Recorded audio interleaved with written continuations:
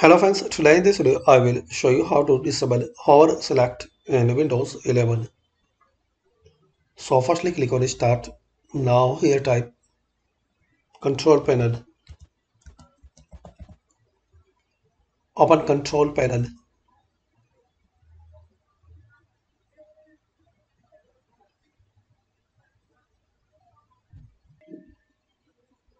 Now here select large icons.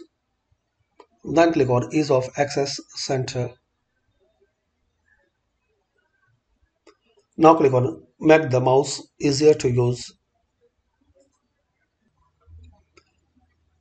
Now here guys uncheck activate a window by hovering over it with the mouse. So uncheck this uh, option apply then click on OK. So this is the way guys you can disable hover select in Windows 11. Thanks for watching and please comment this video useful for you or not. And please share like and subscribe to the channel for more useful videos.